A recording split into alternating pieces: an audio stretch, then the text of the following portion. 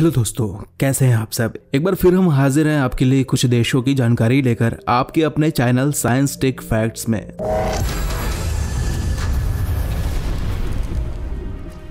तो वहीं इस वीडियो में हम आपको बताने जा रहे हैं मिडिल ईस्ट सिटीज़ के बारे में। जी हाँ दोस्तों क्या आप जानते हैं इतिहास में कसनिया के नाम से प्रसिद्ध तुर्की शहर इस्तांबुल के नाम से जाना जाता है। यह शहर दुनिया के उन शहरों में नामचीन है, जो दो महादेशों में है, यूरोप और एशिया। इन दोनों में बसा है। दोस्तों, इस्तांबुल में परंपरा की आधुनिकता धर्म और धर्मनिरपेक्ष जीवन शैली से मेल होता है। यही खास बात है जो इस शहर को जादुई बना देती है। बात करें इस्तांबुल के इतिहास की तो इसका इतिहास करीब 2600 साल तक जाता है, जहाँ कई शासकों ने इस शहर पर कब्जे करने की कोशिश की, जिसमें ईरान के ग्रीक रोमन ऑटोमिन भी शामिल है। जिन लोगों को नाइट लाइफ एंजॉय करना हो, उनके लिए इस्तांबुल एक बढ़िया शहर है।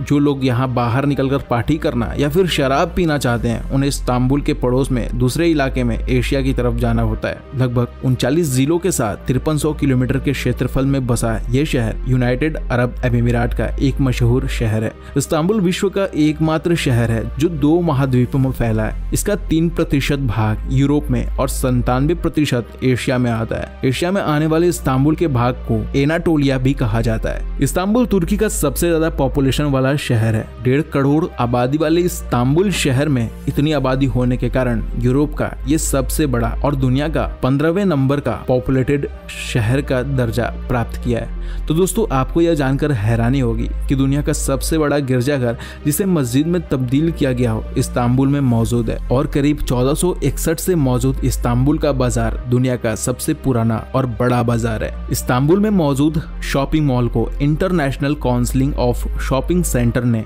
उन्नीस में यूरोप और उन्नीस सौ छियानबे में दुनिया का बेहतरीन शॉपिंग मॉल करार दिया है। दोस्तों मतलब इस्तांबुल के बाज़ार में आपको हर चीज़ मिल जाएगी। इस्तांबुल शहर तुर्की के 27 फ़ीसदी जीडीपी का हिस्सा है। तो वहीं तुर्की के 20 प्रतिशत इंडस्ट्री के मजदूर इस्तांबुल से ही जाते हैं। इस्तांबुल तुर्की के पाँच में से दो हिस्सों का टैक्स रेवेन्यू भी इकट्ठा करता है। इस्तांबुल यूनिवर्सिटी चौदह में बनी, जो कि एक काफ़ी पुरानी यूनिवर्सिटी है। यहाँ शिक्षा के मामले में कानून, मेडिकल और टेक्नोलॉजी कोर्स के साथ साथ सभी तरह के कोर्स यूनिवर्सिटी में शामिल किए गए हैं। इनमें से सबसे ज़्यादा टेक्नोलॉजी के क्षेत्र में इंजीनियरिंग की डिग्री देने वाली यूनिवर्सिटी इस्तांबुल में पाई जाती है। दोस्तों, उम्मीद करता हूँ आपको हमारी ये वीडियो बहुत ही अच्छी लगी होगी और आज की इस वीडियो में बस इतना ही दोस्तों। आपको हमारी इस देश से जुड़ी जानकारी कैसी लगी, हमें कमेंट करके ज़रूर बताइएगा। अगर आपको हमारे वीडियो पसंद आया तो इसे अपने दोस्तों और फैमिली के साथ शेयर करना ना भूलें। और अगर अभी तक आपने हमारे चैनल को सब्सक्राइब नहीं किया है तो इसे तुरंत सब्सक्राइब कर,